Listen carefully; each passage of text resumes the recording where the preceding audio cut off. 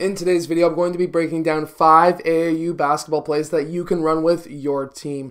Let's get down, let's check these out really quickly. If you want an unbeatable basketball zone defense, make sure to go check out the link down in the description below. And if you've been wondering why I haven't been posting videos, I lost my voice. So let's get down, let's check these out. So I actually really like to run the five out offense very well and obviously as a standard. And this first play, I like to call four out, and it's a four out play. So let's say this is Jimmy on this side, right? And we call four out Jimmy. Jimmy will go to the high post. Player two will then go down to the, the corner, and player one will then dribble out towards this right side. Once this happens, player one is going to try and get that ball into Jimmy in that high post. When that happens, player 3 as well as player 1 will cut towards the basket, and these are our number one options to pass to. When they're cutting, we're going to have player 2 and player 5 move up to the wing, and obviously their defenders will be following with them. At this time, if player 1 and 3 are not open in the post or when they were cutting, they're going to then fill out, and depending on how of course, we like to run our team. If they're a more advanced team, you can do more advanced stuff. But the next option, the secondary options, are kick out passes to player 2 and 5. If, for example, player 5 gets that ball, player 4 will then set a screen on player 5's defender. Player 5 will then use that screen. Player 4 will then roll to the basket. If this is open, he can pass to player 4 and that would be for a layup. And if that wasn't open, player 3 will then fill out, player 4 will then fill out, and we're back into our 5 out offense with player 5 being at the point. Another great play that you can run with an AAU basketball team is out of the 5 out.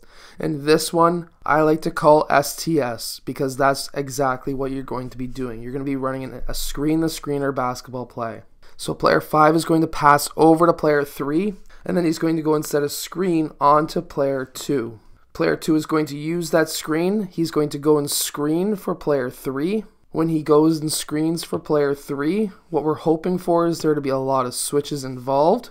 Player 3 is going to use that screen, and player 2 is going to roll off of that screen. Player 3 could have that shot. He could pass to player 2. That could be a layup as well. Anytime, usually, when you get that ball into the paint, help side defense is going to come out, in which case this would be a three point shot for player one. You can even lump this in with, of course, your offense, where now, for example, let's say they were able to cover this off. Well, then at that point, we can then have, again, us still in our five out offense. And you can run any five out play. You could run a, a pass and cut play there's so much options that you have, but look at what we have here. This would be a huge mismatch anyways. So player 1 being guarded by a slower, generally speaking, player 5 could be just an easy drive. So far, that's two plays that are super simple. Both ran out of a 5 out offense to start. And if you want to check out the complete guide to the 5 out offense, go check out the link down in the description below. Another fantastic play that you can run is this one where we can start in horns. You can actually technically start this in 5 out as well. And you would just call horns and these guys would just pop in. It's super simple. You could actually, and how I like to run horns myself is out of the 5 out. Again, I really am a fan of the 5 out. And how I would run it out of the 5 out is have the big guys start in the corners just to get extra off ball movement. And then have these guys pop up to the elbows once they get to the elbows, and players 3 and 2 would pop down to the corners. This is just extra off ball movement. You may have options that present themselves if there's off ball movement before your play even starts. But we can have player 5 setting that screen for player 1 and player 4 setting an off ball screen for player 2. With these screens happening, player 1 can use that screen, player 5 would roll towards the basket. Now there's a few different options that present themselves here. So with what's going on here, you may have the opportunity to swing that ball over to player 2 for a 3. You may be able to get that ball into player 5 for a layup.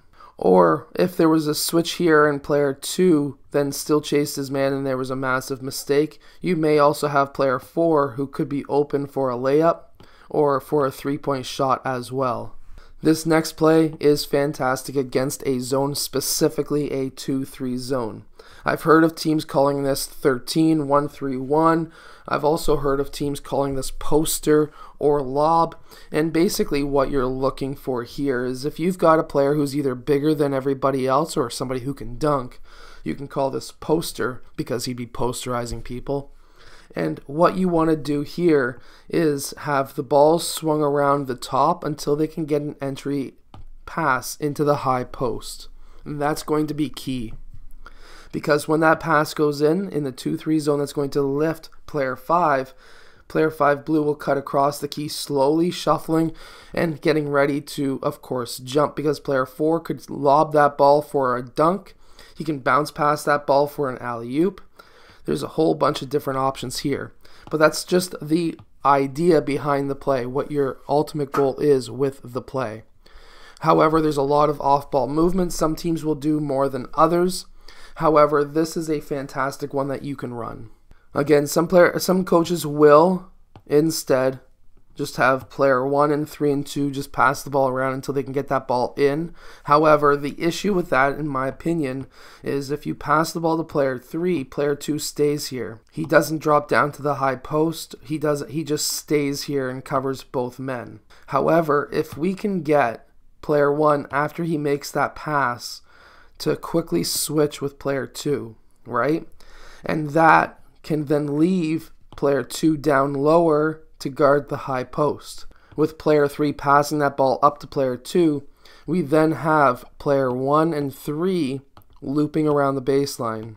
What happens here now is this draws up both players. These guys are worried more, of course, about the wings, which lifts up the defense. And then if we can get that pass right away into player 4, or if we can get that pass quickly to player one to get it into player four, whatever it may be. But I can almost guarantee you, you should be able to get that pass from the point into the high post after these guys swing. You want to get these guys out of the key first before you pass into the, the high post. That will then, of course, lift up these wings because they're worried about them, but getting that ball into the high post lifts this up so that it's an absolutely easy layup, in this case, for player 5. A nice quick hitter that you can do against the zone, this is, this is going to be play number 5. A quick hitter that you can run is this. You get player 4 on the far side to come up and set a screen on this side of the zone. He comes up and sets that screen. Player 1 quickly attacks the paint.